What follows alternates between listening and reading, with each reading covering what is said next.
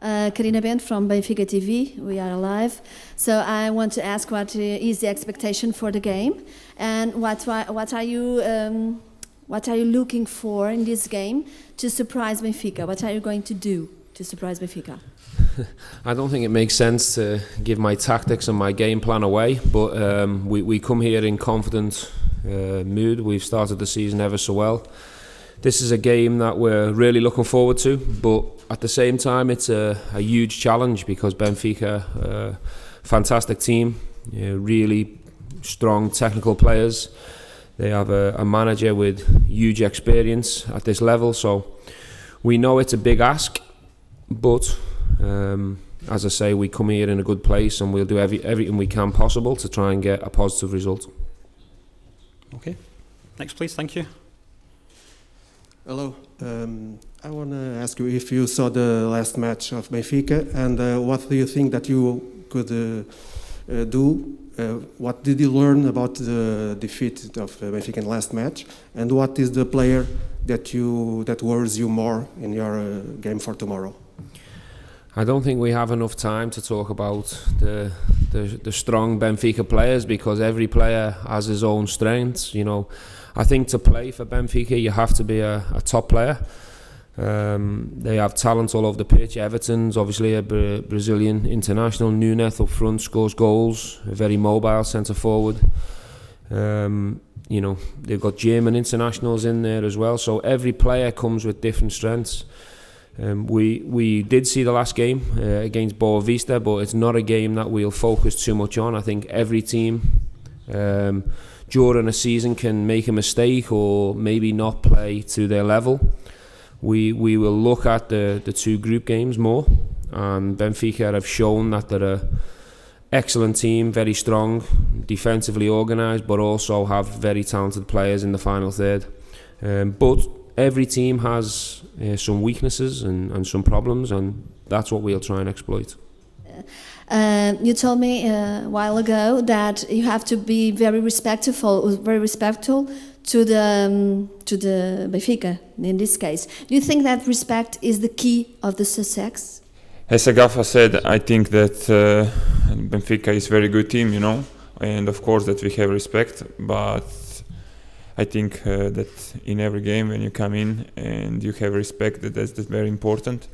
If you don't respect uh, the other team, that's not good for you. So uh, I don't think that we gonna don't respect them. You know, of course that we respect team as Benfica, but as I said, you always need to respect team, and that's it. Um, focusing in your team, uh, what do you have to do in order to overcome Benfica in a match like this, especially away from home? I think we need to. I think we need to have big respect for, for Benfica, but at the same time have no fear. We need to play the game with confidence and belief that we have good players as well.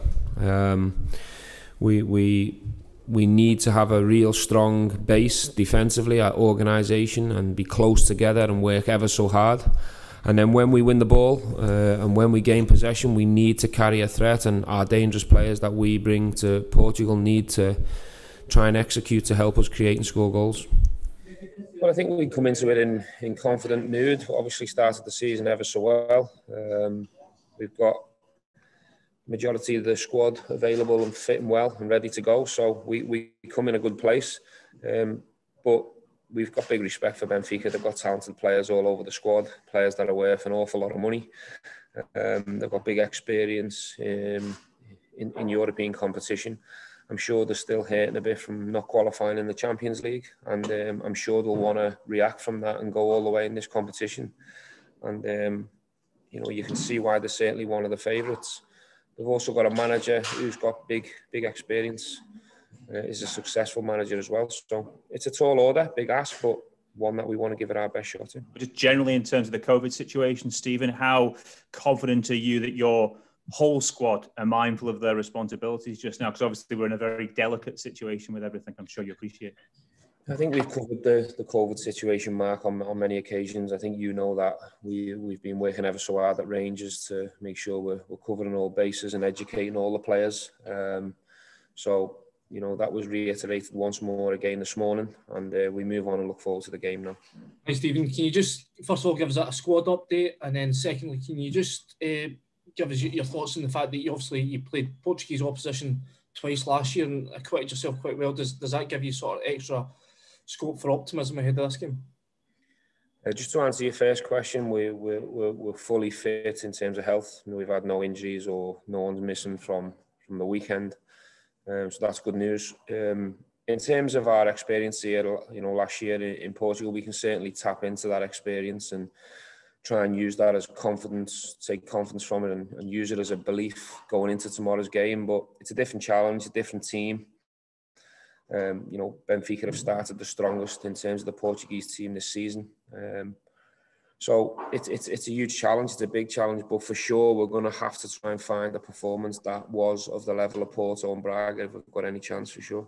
Obviously, the players are, are, getting used to playing behind closed doors, but is it an extra challenge the likes of tomorrow night where you're playing in this enormous stadium? It, it must feel very surreal for them. I don't think it'll feel surreal. You know, we we're here now at the stadium. The players are having a look around, getting used to the the environment where they're going to be playing tomorrow. I think you've got to use that as as motivation. It's it's a world class stadium, a fantastic place to play. The pitch is in in great shape. Um, and these are the places where you want to come and play. I think it's a big shame. I think some of the players, or all of the players, and myself, quite gutted that it's not going to be a full house because, um, you know, it's a, it's a wonderful place to come and play football. Um, but it is what it is. We, we're used to playing behind closed doors now. Uh, I don't think it's going to change anytime soon, certainly in the near future. So we just have to get on with it and give it our best shot. But we've just walked around the place now, and it's a fabulous place to, to come and test ourselves. Hi, Steven. Ali DeBoy from the Go Radio Football Show here. Um, Benfica haven't lost at home in the Europa League. Is that an exciting challenge for you?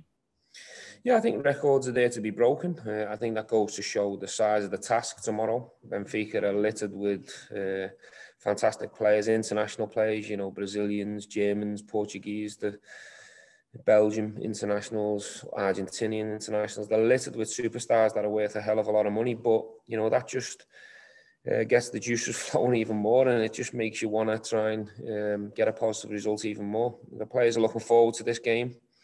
Um, we've started the, the, the group stage very well, and we want to try and build on that with with, with a positive result tomorrow. We, we've talked a lot about the you know the, the upside to having so many options in your squad, but when it comes to a big game like this, is it a bit of a challenge for you to try and you know juggle the squad and, and keep everyone happy when everyone will be so desperate to play in a game like this?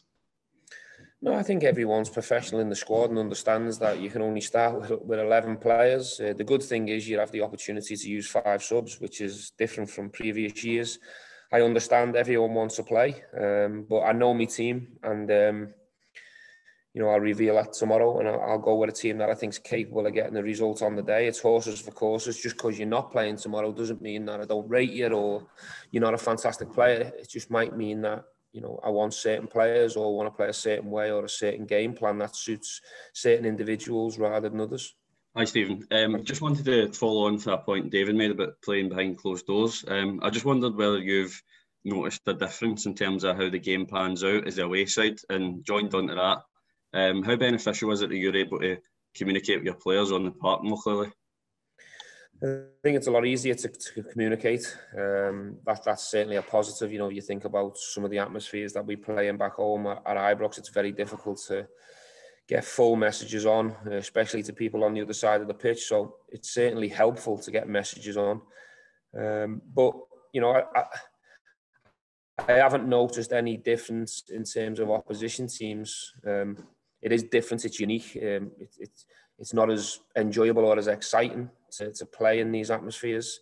That's for sure. But we we've got we've got jobs to do, and it is what it is. Everyone's in the same boat, and we have to get on with it. We we thought there might have been an opportunity to play in front of 5,000 or maybe 20 earlier on in the week, uh, which isn't the case, which is a shame because, you know, I actually feel for the players. You know, we've done ever so well getting to this stage of competitions and you come up against teams like Benfica. The players should be able to play in front of 67,000 people tomorrow and it would be a, a top experience for their development.